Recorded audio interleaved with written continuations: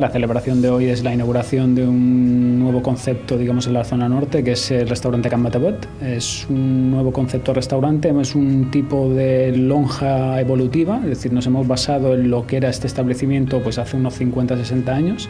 Esto era una pescadería, era un sitio de manipulación de pescado y lo que hemos hecho es intentar pues trasladar un poquito el concepto antiguo a un concepto pues mucho más eh, moderno, más arriesgado y basándonos en materiales antiguos hemos intentado darle una vuelta, ¿no? Y radicalizar un poco lo que era el antiguo concepto y crear un mix de lo que es una lonja tradicional pues con un restaurante un poco de vanguardia. Estamos delante del mar, lógicamente le damos una importancia muy muy muy elevada a lo que es la terraza exterior. Cuando entramos dentro ya encontramos diferentes zonas, encontramos zonas más íntimas de banco, las cuales son pueden evolucionar, se pueden modificar. Hemos creado un concepto de madera que podemos unificar las mesas, incluso podemos crear una mesa gigante para 40 personas. Luego tenemos un altillo, que es una zona un poquito más privada, que está al lado del DJ. Bueno,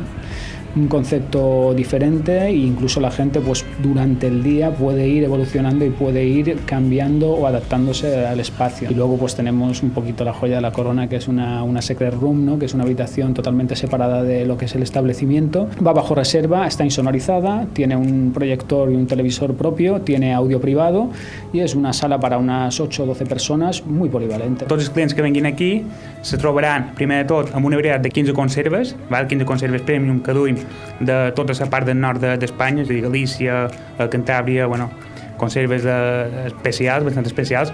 L'idea i el concepte és eh, que la gent vengui i sigui menjar per compartir.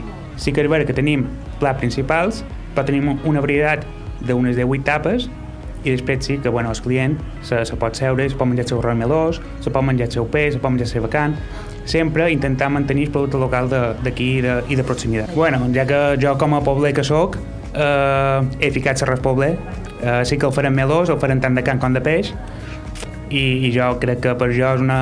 És, bueno, eh, tota la vida de cuinant arròs i crec que per menjar un arròs pues, eh, passareu molt de gust.